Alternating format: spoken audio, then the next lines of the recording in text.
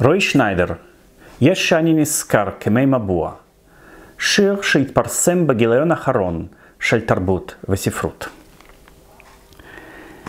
יש שאני נזכר כמי מבוע במבטים קפואים כפני תוטפת, נסגר כפרח ב rewind, נשטפת ממני רוח החיים, שבוע חיי ושגרתי, כמרגרינה ממיקרוגל אזל אל השטיח. יש שאני אטום כאבטיח, כי דאבה משכמתי הקרינה אל החזה.